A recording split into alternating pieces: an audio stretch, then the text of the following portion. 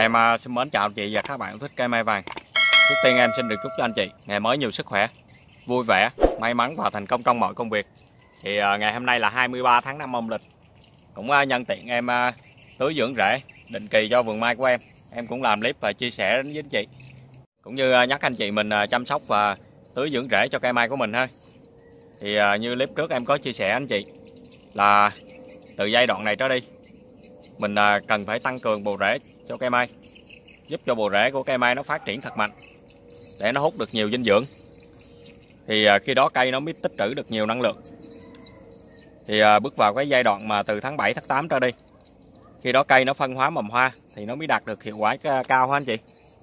Hôm nay đã là 23 tháng 5 âm lịch rồi, cũng chỉ còn có mấy ngày nữa là bước qua tháng 6 âm lịch.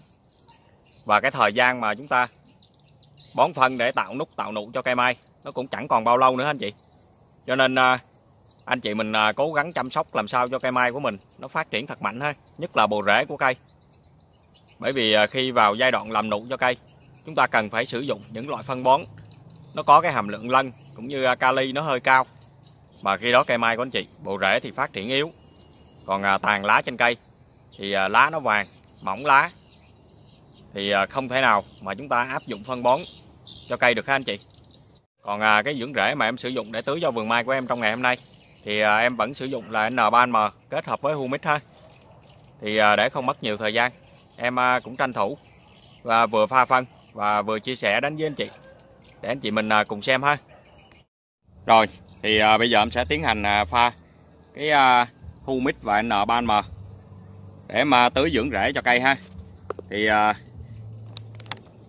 ngày hôm nay em à, sử dụng cái humic là dạng bột ha anh chị. Dạng humic bột ha. Như à, những lần trước thì em à, sử dụng humic nước. Nhưng hôm nay em mua cái humic bột. Cho nó rẻ tiền xíu. Cái này thì nó có à, cái loại này thì à, gói một ký. Em mua có 100 ngàn à. Để nó bớt được cái nào nó đỡ cái đó. Thì cái công dụng nó cũng như nhau thôi anh chị. À, anh chị mình thấy ha. Nó để là vua ra rễ phục hồi cây. Đó humic ra rễ cực mạnh. Cân bằng độ pH. Cây khỏe lớn trái. Thì nó để nó quảng cáo vậy đây nhưng không biết cái ờ, hiệu quả nó như thế nào ha. Bây giờ bất kể một cái loại phân thuốc gì nó sản xuất ra nó cũng để vua không anh chị? Thuốc uh, sâu bây giờ cũng vua ha. Vua bọ trĩ vua rầy nâu. Bây giờ phân bón cũng vua luôn toàn là vua với lại à, tướng không à? Chỉ có à, nông, người nông dân của mình là quân sĩ ha. Rồi, thì à, cái thành phần dinh dưỡng và công dụng của nó trong đây, nó cũng y như là cái humic nước ha. Nó cũng bổ sung vi lượng đầy đủ ở trong đây. Đây anh chị mình thấy ha, ngăn ngừa ngạn rễ, thối rễ, chống bó rễ, kích rễ mạnh ra nhiều rễ, rồi à, phục hồi rễ suy. Nói chung là nó cũng à, rất là nhiều cái à, công dụng ha. Giải độc rồi hạ phèn, cải tạo đất. Thì cái liều lượng của nhà sản xuất, người ta ghi ở trên cái bao bì này là một cái gói một ký này, pha cho 1.000 lít nước. Từ 800 đến 1.000 lít nước. Thì ở đây em kết hợp với N3M thì em sử dụng một gói này cho 1.000 lít nước ha thì à, em pha cái bồn này của em là 400 lít nước. Em sử dụng là 400 gram ha 400 gram. Em à, cân ra đây rồi ha anh chị? Em đổ ra đây để em cân rồi ha. Giờ em cho vô cái à, xô nhỏ này để em à, cho nó tan đã. Bởi vì cái dặn bột này mình phải à, quậy cho nó tan rồi mình mới tưới được. Em cho nó tan xong rồi em cho vô cái bồn để em à, mở máy em tưới.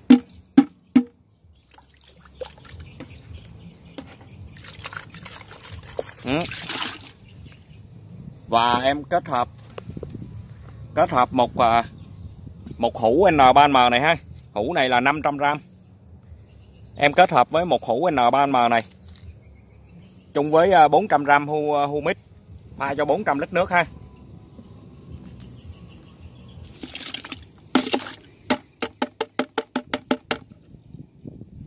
Đó. Rồi. Để em quậy cho nó tan cái humic với lại cái n 3 m xong cái em cho vô cái bồn.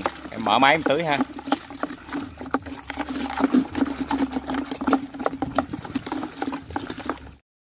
Anh chị mình thấy à, cái loại bột hay loại nước gì, loại nào nó cũng đang thui thù lùi ha. Nhưng mà không biết sao cái loại bột thì nó rẻ tiền hơn cái loại nước. Công dụng thấy nó cũng như nhau, liều lượng cũng như nhau rồi ha. Sau khi em đã đánh tan, thì à, bây giờ em sẽ tiến hành cho vô cái bồn lớn này. Để mà tưới ha.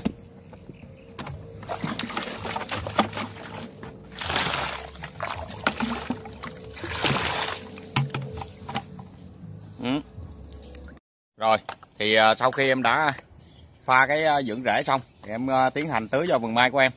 Em muốn tưới một ít cây để anh chị mình cùng xem ha thì cứ uh, cây của anh chị mình lớn thì anh chị mình tưới nhiều. Cây nhỏ thì mình tưới ít. Tưới nhiều quá nó chảy xuống dưới uh, đít chậu rồi lãng phí ha. Ừ. như uh, những cây tàn lớn này của em thì uh, em tưới tầm uh, 5 lít ha. 5 lít. Mình cứ tưới định kỳ như thế này. Để cho bộ rễ nó phát triển liên tục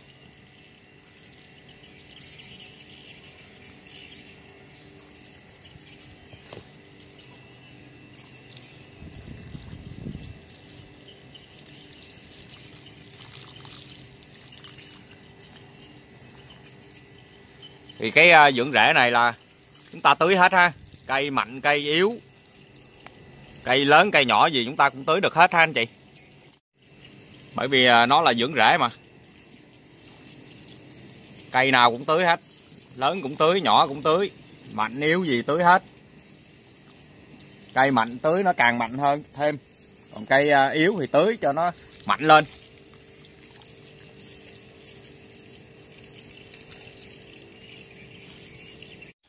Đó ha cây lớn mình tưới nhiều, cây nhỏ mini mình tưới ít. Đó. Mình à, cứ vậy mình à, tưới một tháng một lần cho cây. Những cây nó phát triển đều mạnh rồi, thì cứ một tháng mình tưới một lần. Để kích thích thêm cho cái bộ rễ nó ra.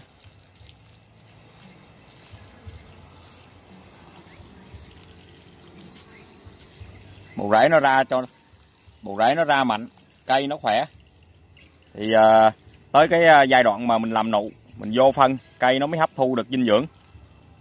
Cái lượng nụ nó mới tập trung lên được nhiều ha. Này ha. Cây nhỏ nhỏ mình tưới ít. Mấy cây này hoành nó khoảng 26 27 ha anh chị. 26 27 trồng trên cái ờ, chậu 6 tấc như thế này mình tưới khoảng chừng 2 lít là đủ rồi anh chị. 2 lít là nó thấm đều rồi.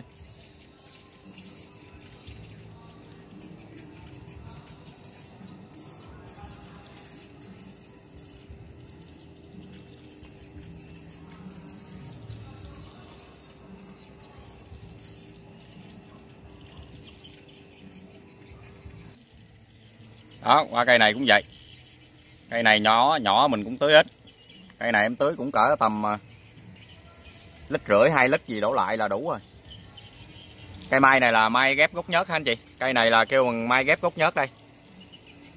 Cây này em trồng nay khoảng cỡ tám, chín năm rồi anh chị. Trồng trên chậu này khoảng tám, chín năm rồi. Hồi đó em mua là cái gốc của nó bằng cái ngón tay út ha. Cái cây mà người ta bán để để bàn. Đó, mini trồng trong cái ờ, chậu mũ ờ, phi 12 ha. Em mua nó bằng ờ, cái ngón tay út như thế này. Mà em nuôi tới nay thì, em nuôi ở trên chậu tới nay, anh chị thấy ha cũng khá tốt á. Ở cây cũng phát triển rất là tốt ha. Chồi đang bắn ra mạnh như thế này. Và cái gốc này anh chị thấy ha, nhìn là biết cây mai ghép gốc nhớt rồi ha.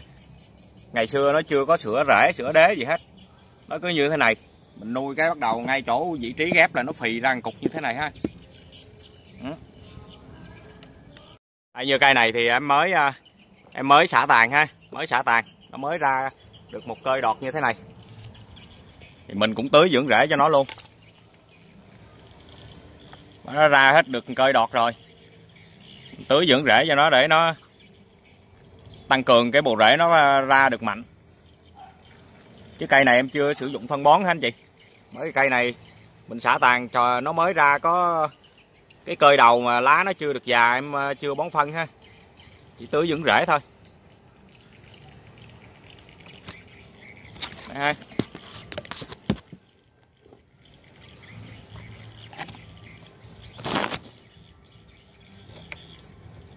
như cây này ờ, em tưới cho nó khoảng tầm 3 lít ha 3 lít hoặc 3 lít rưỡi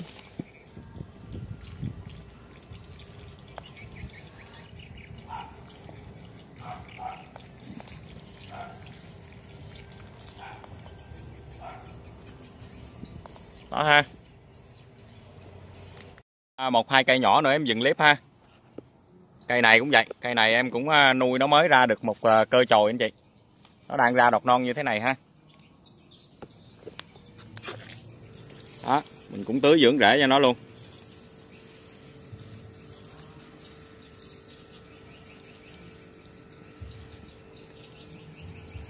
Như à, có nhiều bạn hỏi thấy anh quay clip vườn anh cây nó tốt vậy rồi à, anh chăm sóc vậy có cây nào nó bị à, à, suy yếu hay nó chết không anh? Có chứ sao không có có anh chị? Đâu phải thần thánh đâu mà mà mà chăm à, cây nào nó cũng tốt hết được anh chị. Ví dụ như khi anh chị mình mua cái cây giống ha anh chị mình lấy 100 cây về thì nó cũng có cây mạnh cây yếu chứ đâu phải cây nào nó cũng như cây đấy. Rồi à, trong à, quá trình mà chúng ta xử lý, chúng ta trồng, thì cây nào nó yếu quá mức thì nó phải suy thôi. Chứ làm sao mà tránh khỏi được cái à, vấn đề là cây nó suy hay là nó chết anh chị? Còn à, anh nào mà nói mà trồng vườn mà mấy trăm cây mai mà không bao giờ có một cây nào bị suy cây nào cũng phát triển tốt mà ông đó, nói xạo hay là không bao giờ có cây mai nào chết thì nó đó là nói xạo ha.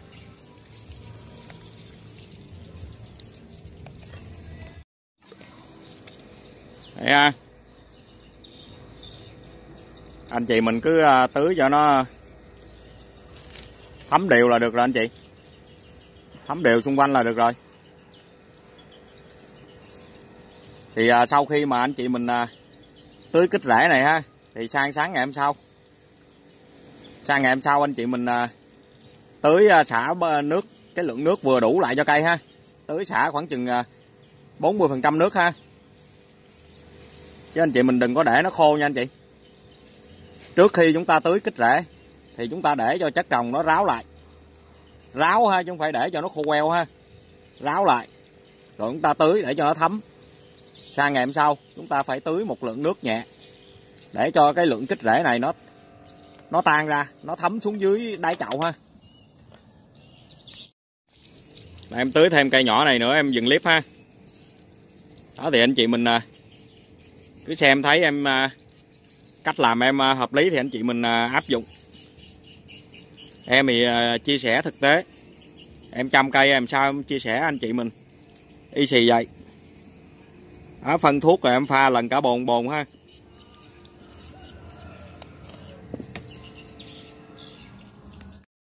Đó rồi thì à, ngày hôm nay cũng nhân tiện em à, tưới dưỡng rễ cho vườn mai của em. Em cũng quay và chia sẻ đến với chị, để anh chị mình à, xem, cũng như tham khảo cái cách chăm sóc của em. Nếu anh chị thấy hợp lý thì có thể áp dụng cho cây mai của mình ha.